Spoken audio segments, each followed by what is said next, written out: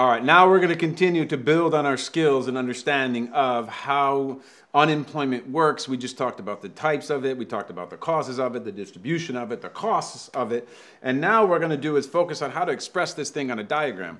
Now, I showed you a little bit earlier about the labor market diagram, and actually I gave you a little sneak peek in there about how you would relate like a drop in aggregate demand to a drop in the aggregate demand for labor, okay?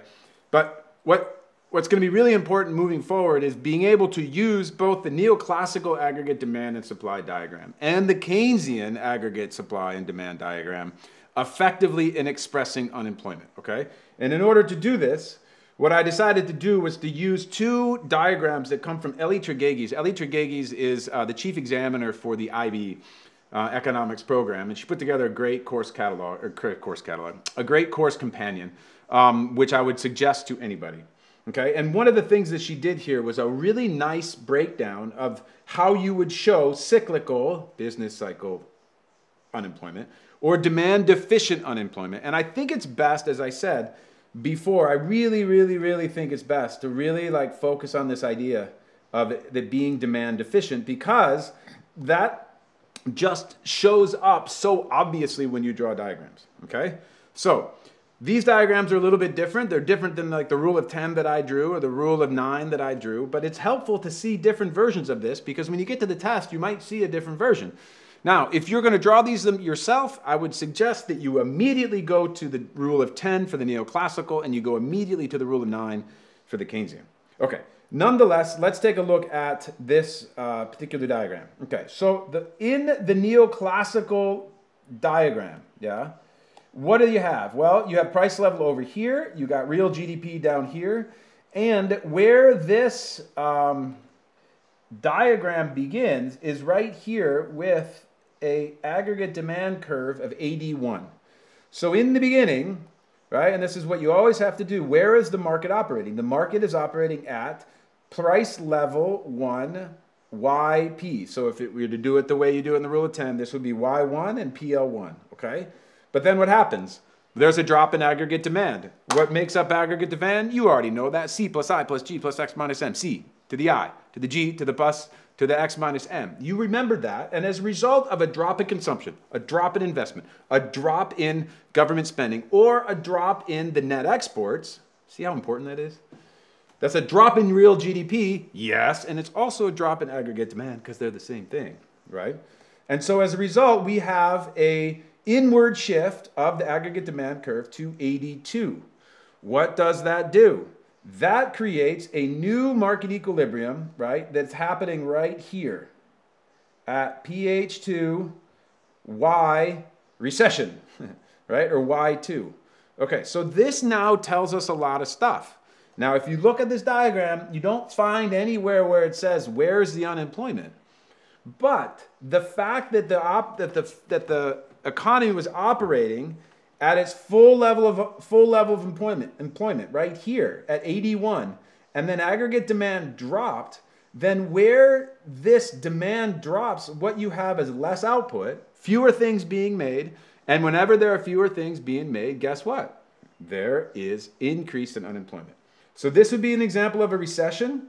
You would see a drop in output which means an increase in unemployment and you could say over here that the drop in level of PL1 to PL2, this would be an example of deflationary pressure. Always say the part pressure because it might not be sustained. It could be temporary.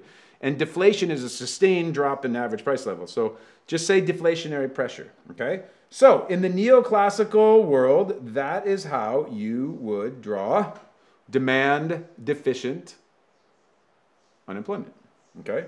Now, what about the other one?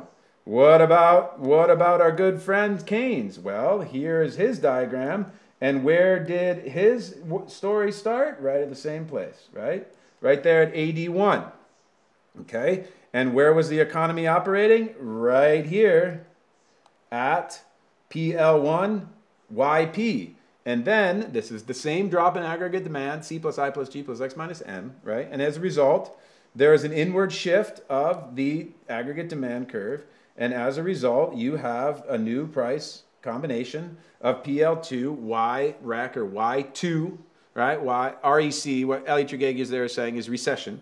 And as a result, what you have is an example of increased unemployment there and increased unemployment there. This is the exact same thing drawn in the two different models. First of all, of course, the monetarist or new classical model, and then secondly, the Keynes model. And this model right here is equally as useful.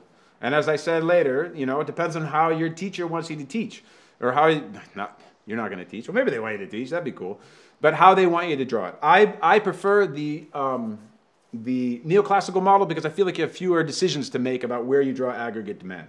Okay, but that's how you would show either business cycle demand deficient, um, no, no, cyclical unemployment or demand deficient unemployment on either one of those diagrams.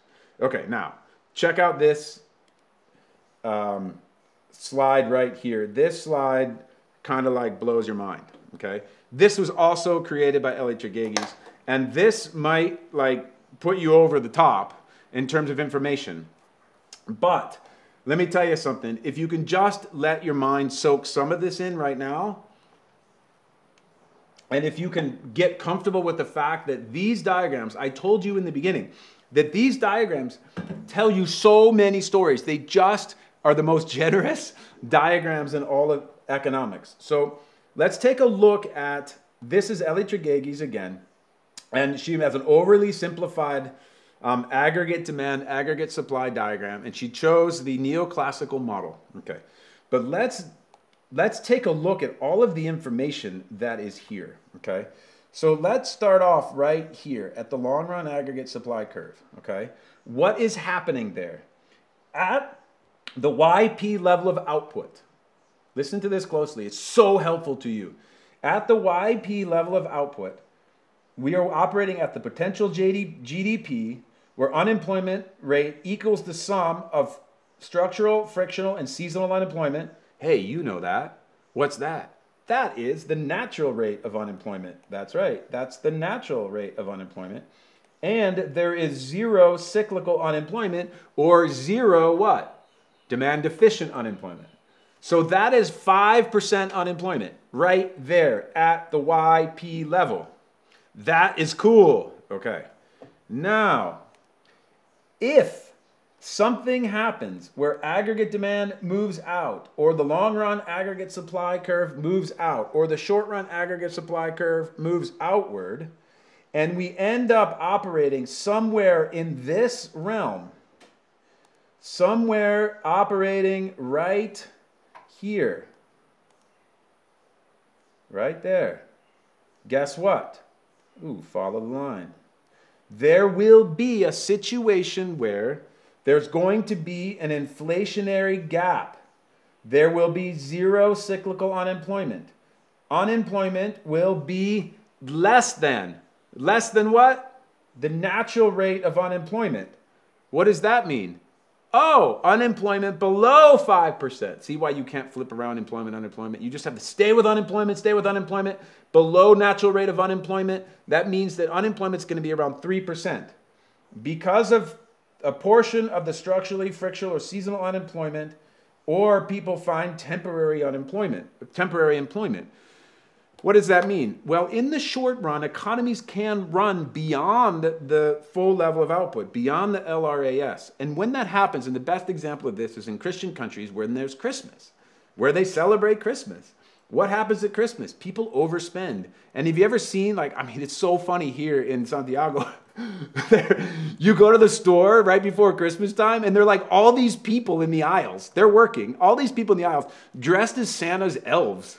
and, and I'm like, whoa, what are you doing? You, you are an elf? And they're like giving you samples of like cookies, you know? And it's like some cookie company has hired some kid to stand in the aisle in an elf outfit to hand out free cookies so they will buy their cookies for Christmas morning. And did you ever wonder where those people's jobs go after Christmas? Where are all the elves? The elves are gone because we go back to the regular level of natural rate of unemployment, which is 5%. So those kids who are, and they usually are like teenagers or university students, those kids don't have a job anymore But for a short period of time, they did. And when they did, that meant that the unemployment rate was below 5%, okay, or 3%. Okay. Now, what about the other side? What about when there is maybe an inward shift of aggregate demand or an inward shift of the short run um, aggregate supply curve? What happens in this region? Well, check it out. Eli Tragakes, man, you nailed it here. Absolutely nailed it, okay? So what's happening here? Well, there's going to be a recession. That's true.